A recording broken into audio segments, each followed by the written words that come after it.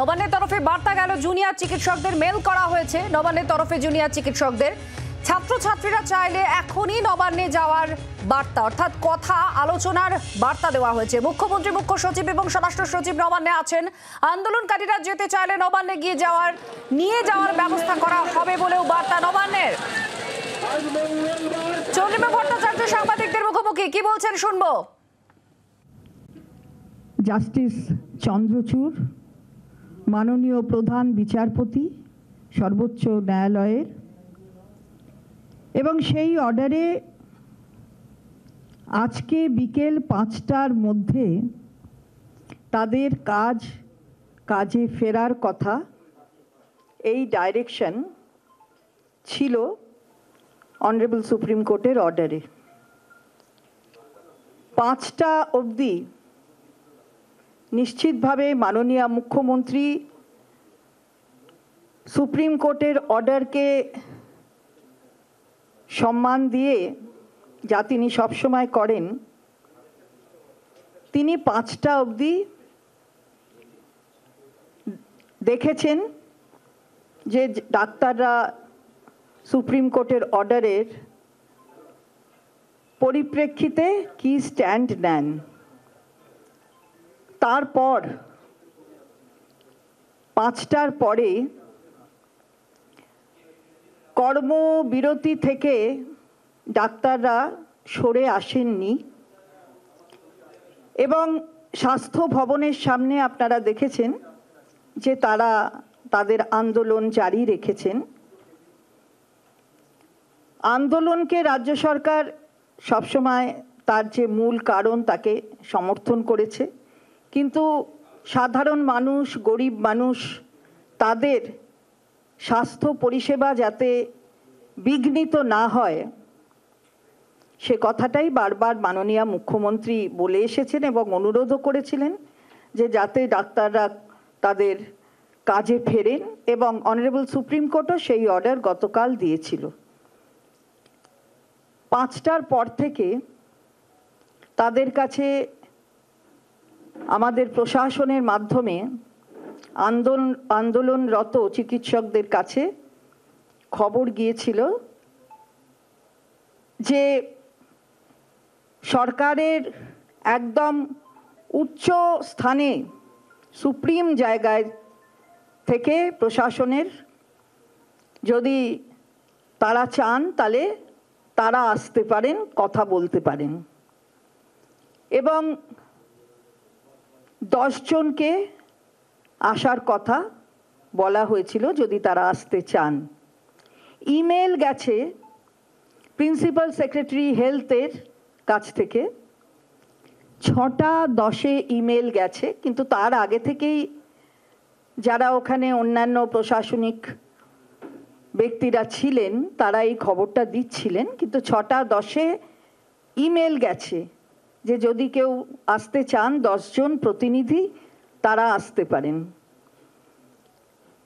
ছটা, দশ থেকে এখন সাড়ে সাতটা বাজে।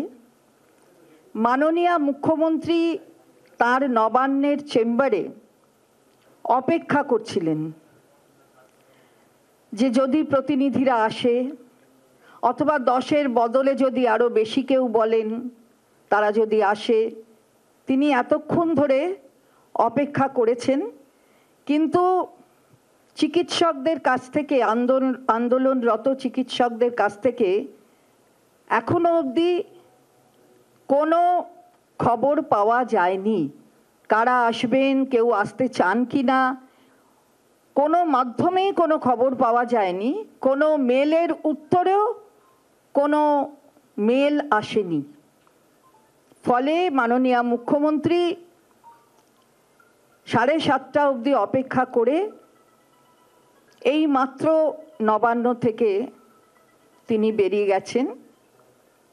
আমরা আবার বলছি, মাননীয় মুখ্যমন্ত্রীর বারবার যে কথা বলেছেন, যে কর্মে যে ক্ষেত্র, সেই ক্ষেত্রটা যেহেতু রোগীর পরিষেবা দেওয়ার, রোগীকে পরিষেবা দেওয়ার যাতে সাধারণ মানুষের অসুবিধা না হয়, যাতে সাধারণ মানুষ পরিষেবা থেকে তাদের বিরত থাকতে না হয়, তার জন্য ডাক্তাররা তাদের কাজে যাতে ফেরেন সেই অনুরোধ তিনি বারবার করেছেন। এখনও আমরা সেই অনুরোধই করছি।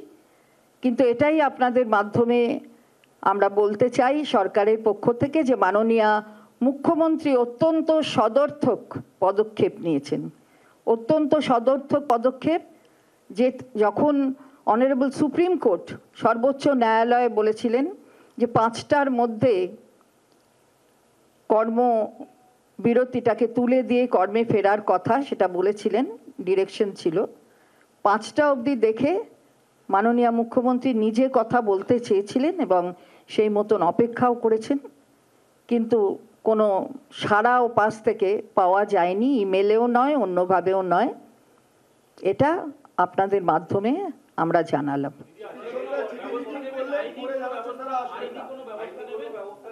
সেটা পরবর্তীতে দেখবেন, কোথায় কি হবে, সেটা তো এক্ষুনি বলা সম্ভব নয়। দেখবেন সেটা।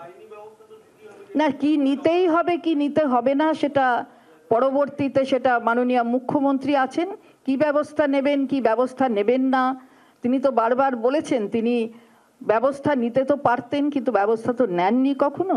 সেটাও তিনি বলেছেন। এবার কি ব্যবস্থা নেবেন, কি ব্যবস্থা নেবেন না, পরবর্তীতে সবটা আপনারা পরবর্তীতেই দেখতে পাবেন।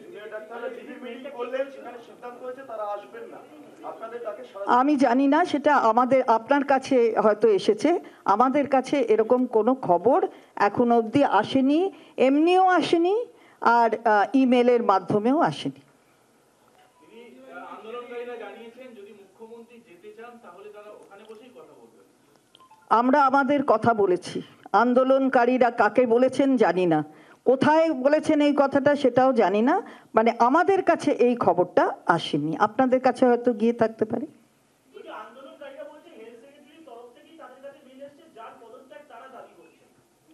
মেলের সাথে পদত্যাগের দাবির তো কোনো প্রশ্ন আসে না।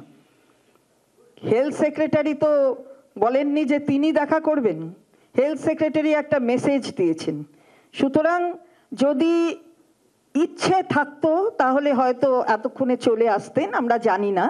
পরবর্তীটা পরবর্তীতে সবাই দেখবেন আমরা আবারও বলছি, মাননীয় মুখ্যমন্ত্রী বারবার বলেছেন যে তিনি সবসময় এই ঘটনার নিন্দা করেছেন এবং সাথে সাথে এই কর্মবিরতিতে যারা রত আছেন, সেই চিকিৎসকদের তিনি সবসময় ফেরার কথা বলেছেন, কাজে ফেরার কথা, কারণ এই ক্ষেত্রটা রোগী পরিষেবা দেওয়ার। সেই কারণে তার অনুরোধ বারবার ছিল এখনও আছে।